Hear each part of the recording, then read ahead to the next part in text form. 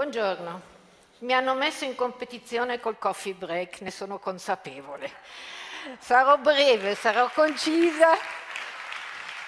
Sono qui tutto il pomeriggio, se avete delle, delle curiosità, se volete discutere, sono qui fuori, possiamo andare avanti a discutere, ma volevo proprio fare di tutto per sottolineare l'importanza della leadership se vogliamo uscire vincenti da questa situazione. E la prima cosa che vorrei fare proprio è ritornare da dove siamo venuti, perché ci vuole un salto di paradigma, non un piccolo miglioramento, ma proprio un salto nella leadership. Quando io ho cominciato 40 anni fa, leadership non era tema. Bastava avere una buona competenza tecnica e le persone venivano messe a capo di gruppi di 70-80 persone con i quali riuscivano a non avere mai neanche una minima relazione. E chi di voi è più vicino alla mia età, che non a quello di un millennial, si ricorda che non era proprio facilissimo vivere in queste organizzazioni. Non c'era attenzione al benessere delle persone. Sei mesi di fotocopia, no, di fotocopiatrice non te le toglieva nessuno un po' di angherie le dovevi sopportare, ma d'altronde eri abituato da casa, alla scuola, all'università, alla sofferenza collegata alla carriera, eri assolutamente abituato. Poi si è capito e si è pubblicato 4,8 miliardi di libri sulla leadership. Perché? Perché si è capito che se la gente viene coinvolta, è chiaro che le performance dell'azienda migliorano molto Solo che è rimasta una cosa, molto spesso fino ad oggi, che basta la competenza tecnica per avere una posizione di forte potere in azienda. Poi, una volta raggiunto, anche mi è successo, diventare direttore generale senza alcune capacità di leadership, ma avendo il potere e avendo il successo, viene chiamata la dottoressa Bauer che vi insegnerà a diventare dei bravi leader.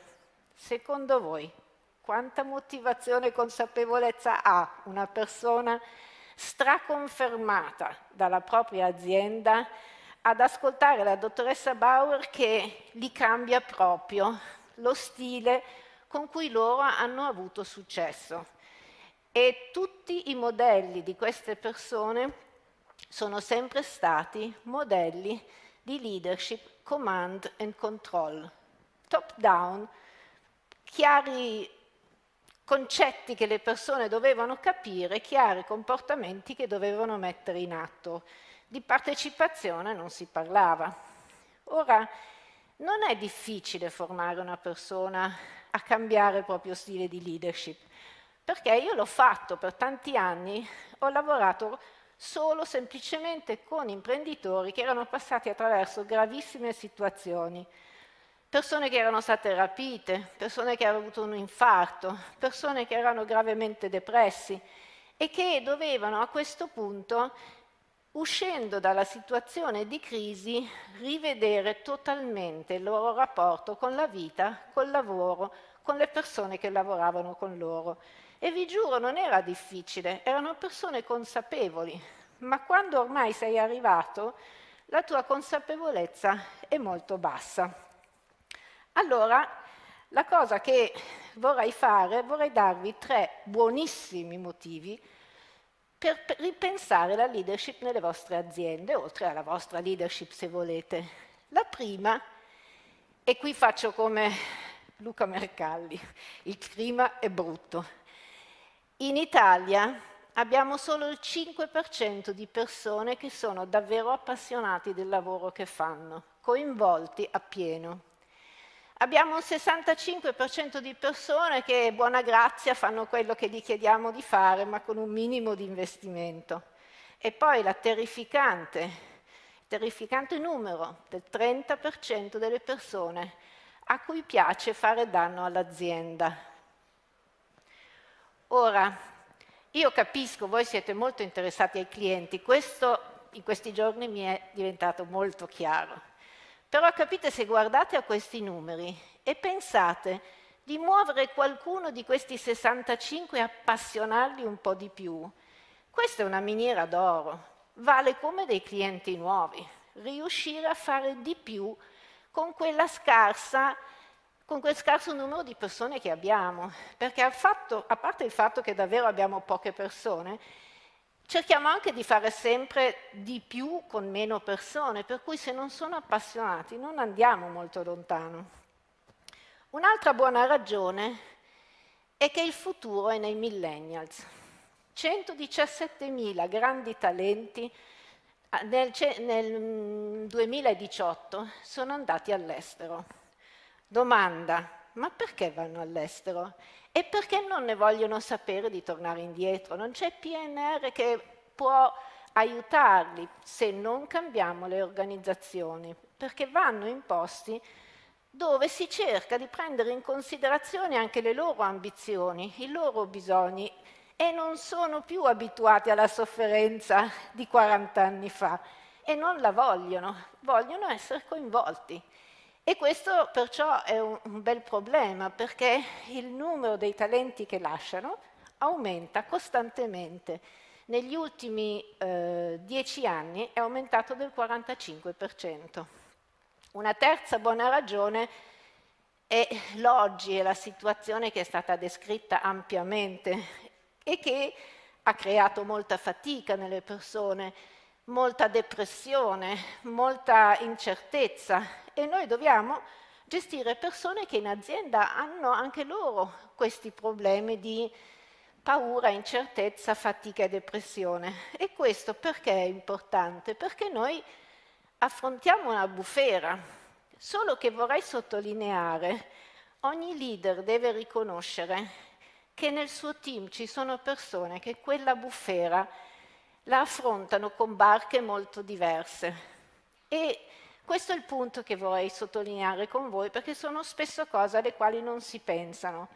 Cioè, io non sto dicendo la barca come metafora di situazione economica e sociale, ma la barca come atteggiamento mentale, forze psicologiche, mindset che possono essere molto utili nonostante la bufera di fare veramente le cose giuste, di muoversi, di non deprimersi.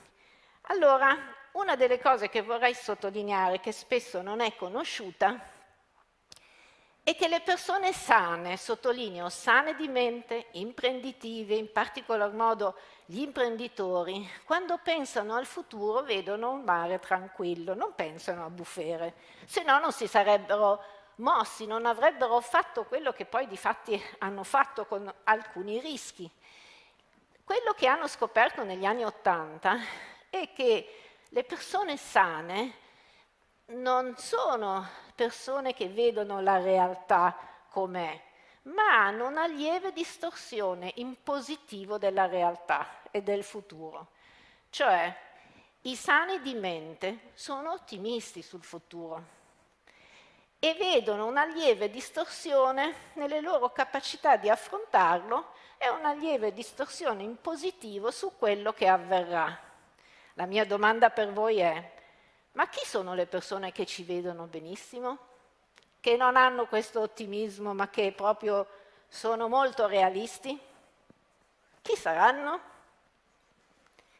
Basta una lieve depressione per vedere la realtà così com'è.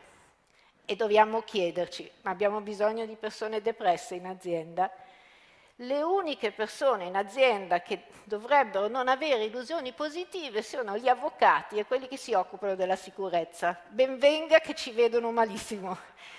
Però tutti gli altri non dobbiamo deprimerli schiacciandogli la realtà in faccia e demoralizzandoli, ma unire a una visione dei problemi che abbiamo anche quel tocco di ottimismo che gli fa venire voglia di affrontare la situazione. E la cosa interessante è che queste, questi studi sono stati fatti in oncologia.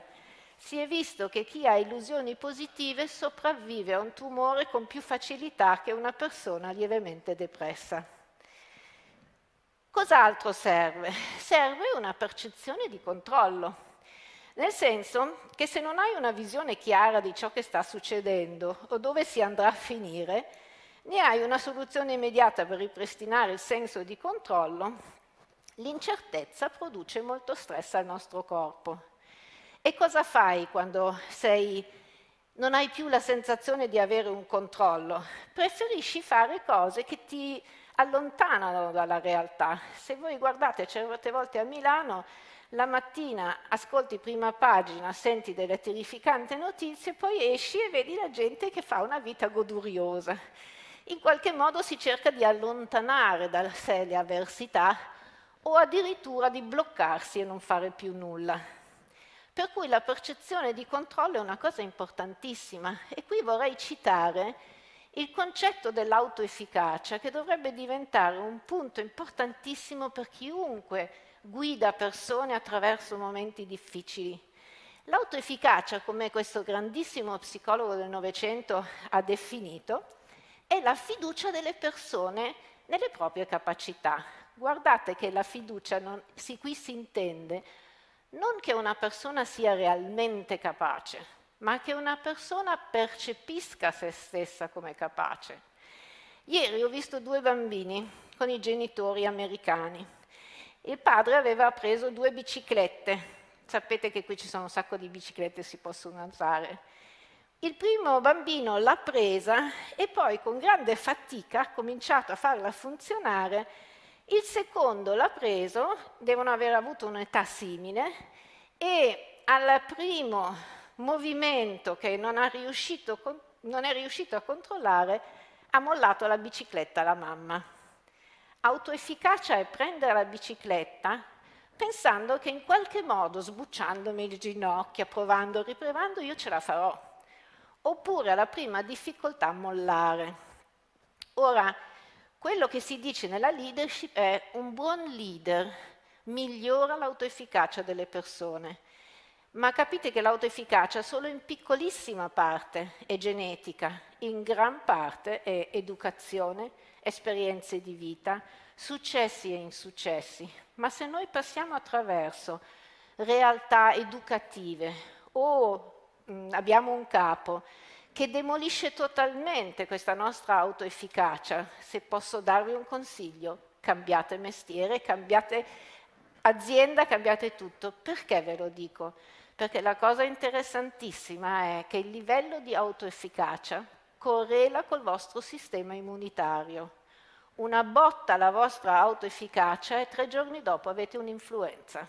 Cioè è proprio è un'energia vitale che è l'unica cosa che ci rimane per affrontare le situazioni più difficili e combattere per ottenere una buona riuscita. Se pensiamo invece che agli aspetti cognitivi, agli aspetti emotivi, qui ci sono delle cose interessantissime di cui in genere non si parla e sono le emozioni. Allora, questo studio qua, no, scusate, dov'è il pointer? Eccolo qua.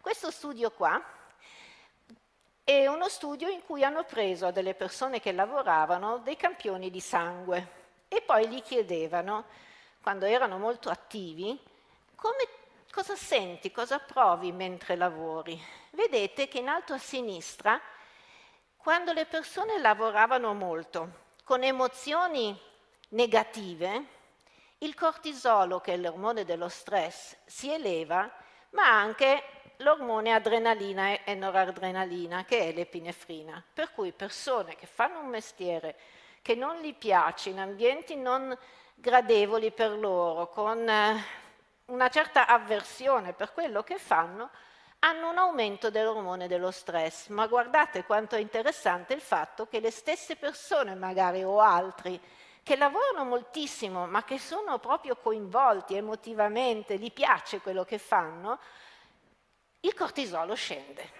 Non è incredibile quanto il nostro corpo vive con noi il nostro modo di lavorare e quanto può l'organizzazione e un buon leader incidere su questo.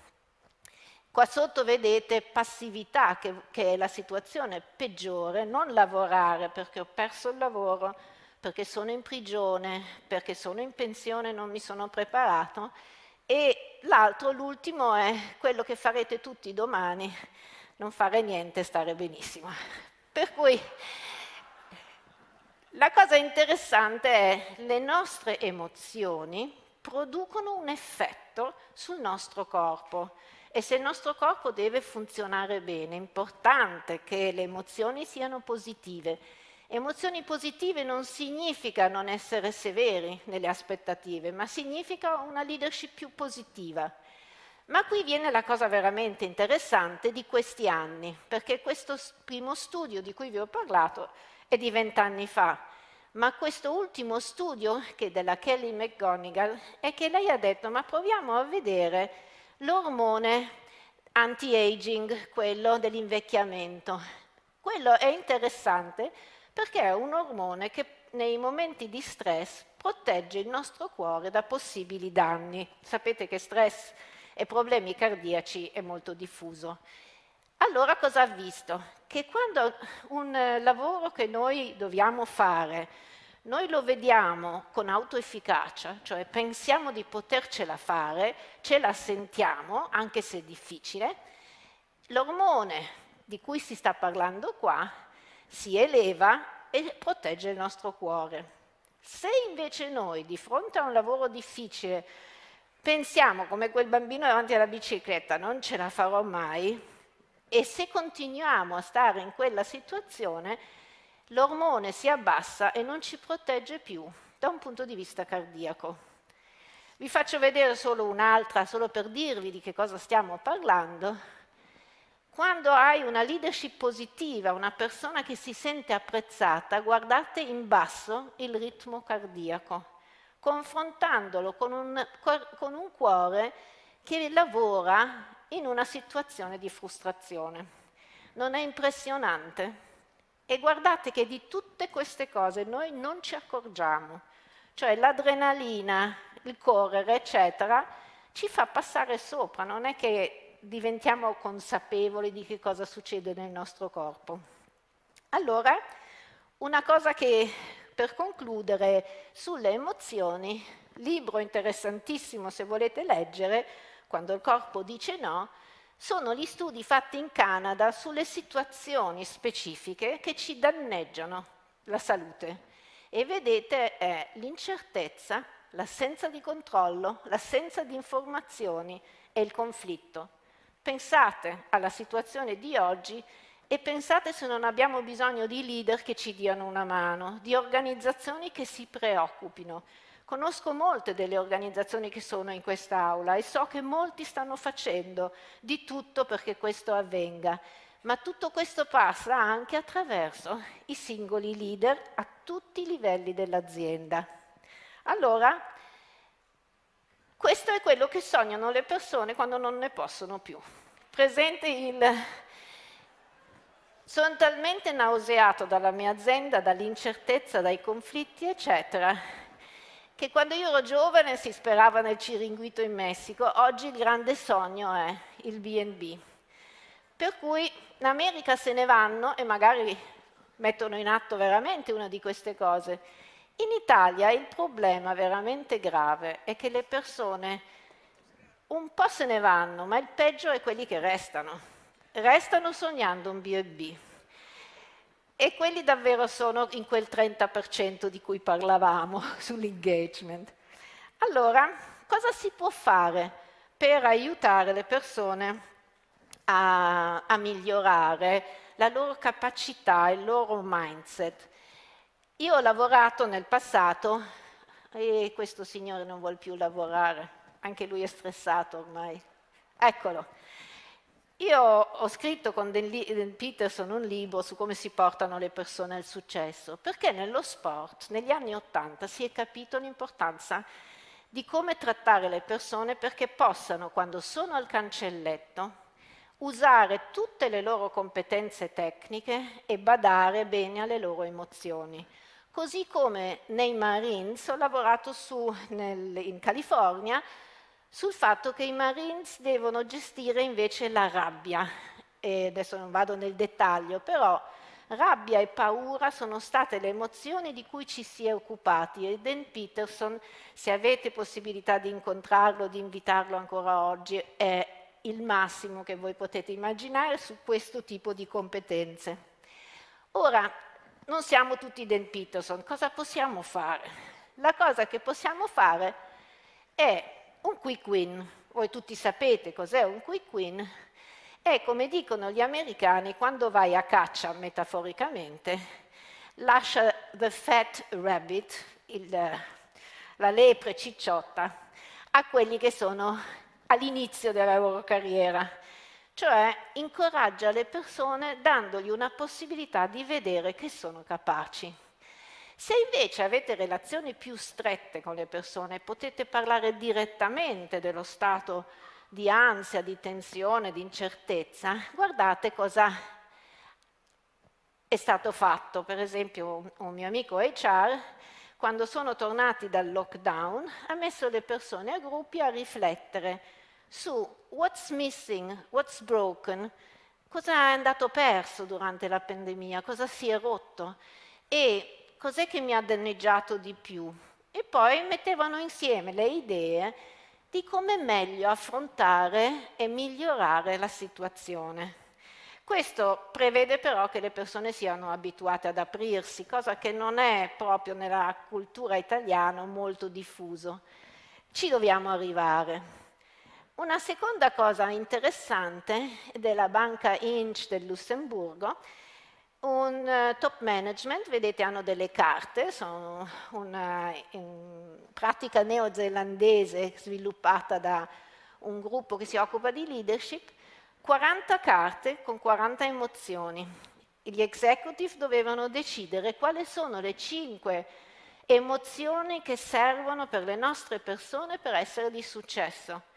E poi messe insieme le, quelle più gettonate hanno pensato cosa può fare l'organizzazione per promuovere queste emozioni. E allora il problema è proprio le persone magari oggi in azienda dicono ma perché parlare di emozioni? E vorrei darvi una spiegazione perché è importante, perché noi abbiamo questo sistema limbico che si attiva quando abbiamo delle emozioni molto forti. Ricordatevi l'ultima volta che vi siete molto arrabbiati, che è arrivata una notizia che vi ha veramente dato fastidio. Non avete cercato qualcuno a cui parlare? Qualche brava persona che non dicesse subito dai ti aiuto io, ti dico io, tutte queste interferenze, mentre tu volevi solo scaricare la, la tensione. Come dicono gli americani, dare un nome alle emozioni. Nel momento in cui io riesco a dire che cosa provo e a spiegarlo a qualcuno, il sistema limbico si viene disattivato e io reinserisco la razionalità ma sapete anche il contrario, se non mi si lascia parlare, io rimugino sulla cosa, mi incattivisco, mi arrabbio, mi chiudo e non sono più disponibile. Perciò ascoltare le persone è davvero importante. Ma sappiamo ascoltare le persone? Anche questo vuole bere il caffè.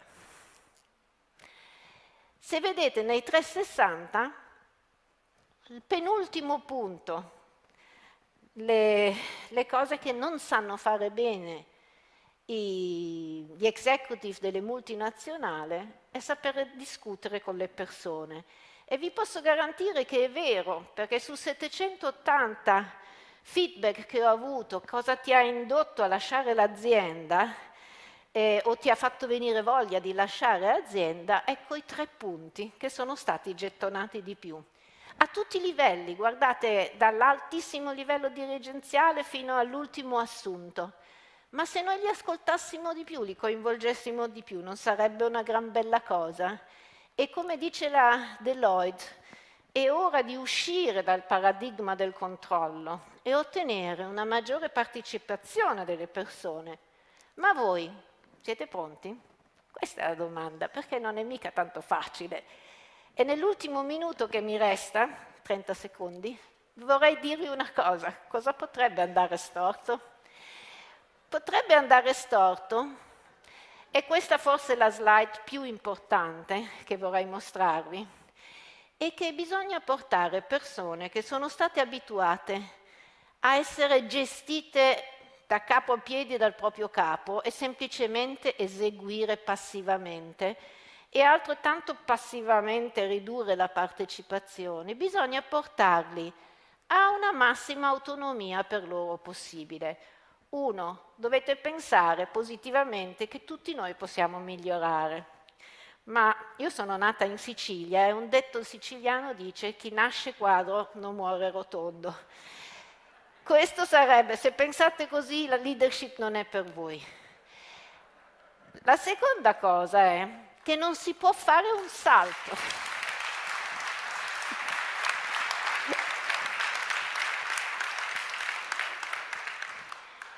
Non si può fare un salto. Questa è la prima cosa grave, perché io ho visto persone che sono uscite da un corso di due ore, come qualche volta mi dicono, in due ore lei ha la possibilità di migliorare la leadership dei nostri dirigenti.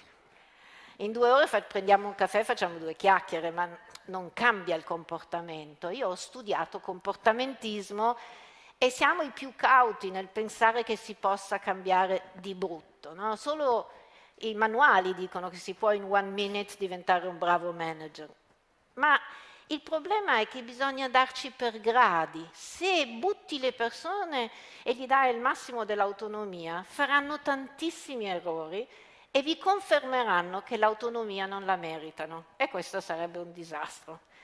Però se voi li portate all'autonomia, vorrei darvi un altro suggerimento di cautela. Guardate, forse chi ha figli adolescenti e c'è passato lo ha sperimentato con i figli. Tu speri tanto che diventano autonomi, ma tanto. Un giorno li scopri autonomi e ti viene un mal di pancia terribile. Esattamente la stessa cosa con i leader. I leader vogliono essere i primi attori, ma i leader oggi devono diventare dei grandi registi questo è il messaggio principale da portare a casa.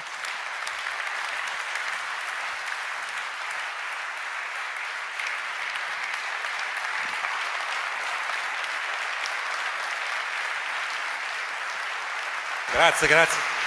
Grazie Beatrice, vieni, vieni. Grazie mille. Grazie. Fantastico. Abbiamo anche risparmiato due minuti. Fantastico, fantastico. Grazie.